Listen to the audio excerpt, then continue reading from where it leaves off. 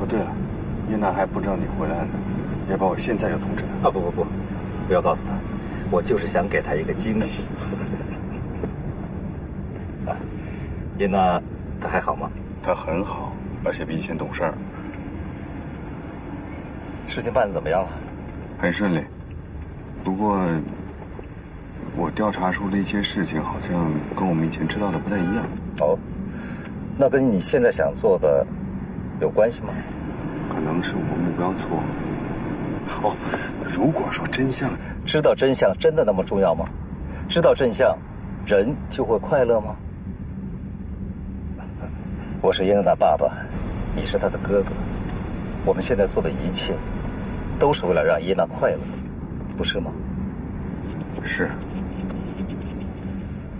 为了耶娜，我可以放弃一切。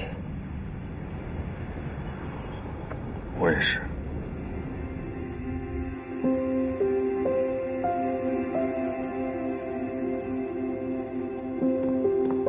爸爸，燕子，好想你啊！宝贝女儿，爸爸也想你。嗯嗯嗯，我觉得你啊，只是嘴上说说而已。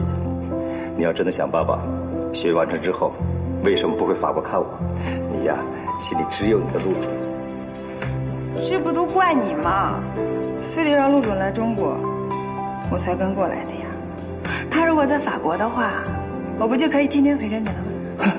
这么说，又都是我的不对了。当然是你的不对了。我才来中国多久啊？你就让陆准去法国出差，一点也不考虑我的感受。好，好，好，都是爸爸不对。等陆准啊，把法国的事情说完以后，我马上。这还差不多嘛。那爸爸这次在中国待多久啊？啊，爸爸只是路过上海，呃，特意来看看你。明天一早就飞法国。这么快啊！等爸爸忙完这阵子，再过来陪你。好吧。嗯。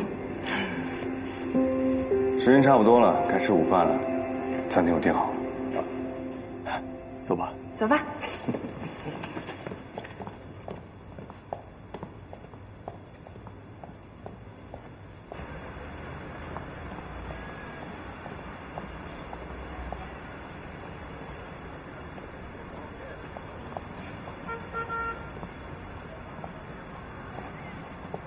好意思啊，不好意思啊，不好意思。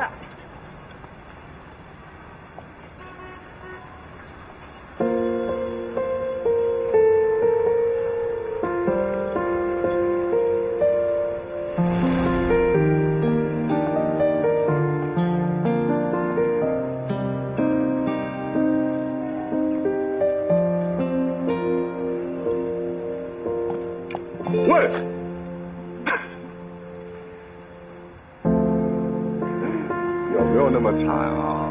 想吃什么味道？我帮你买。哎哎哎，不要！吃一个甜筒，我三天的肥就都白减。走吧。为什么你们女孩子不论胖瘦，个个都要减肥？这你就不懂了吧？减肥可是女人终身的奋斗目标。哇哦，你的身材已经够完美了，还要减肥吗？真的？真的完美啊？那我大不了回去跑十圈。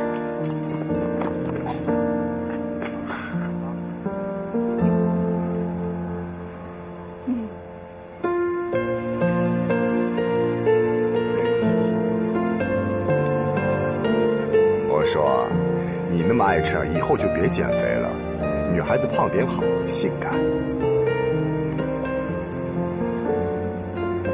你非给我添堵是吗？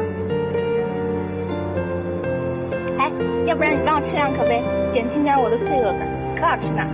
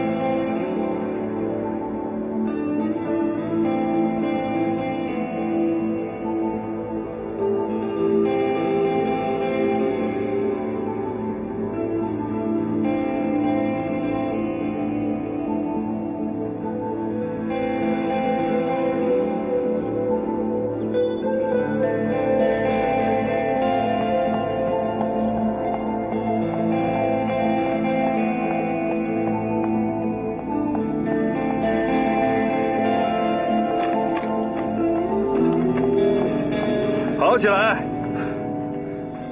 还有十分钟。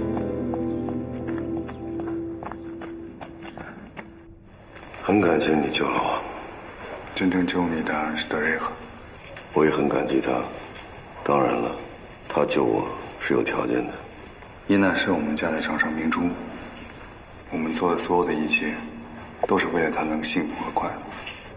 所以啊，宁可我带着别人的面皮，假装爱他。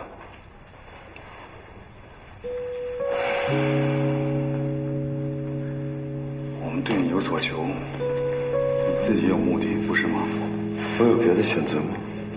其实你可以选择不回去，跟依兰在法国好好生活。No，那你一定要把自己失去的东西都夺回来吗？我并不是要拿回我失去的东西，而是要找到真相。我想知道为什么他们要那么对我。有人说过，当真相是种伤害的话，就选择谎言；当谎言是种伤害的话，就选择沉默；当沉默是种伤害，就选择离开。你能听懂吗？我不惧怕伤害，我害怕的是卑微的活着，而且要活一辈子。你决定好了吗？我知道选择会给我带来什么样的后果。OK，我帮你。但是你要记住你的承诺，千万别后悔。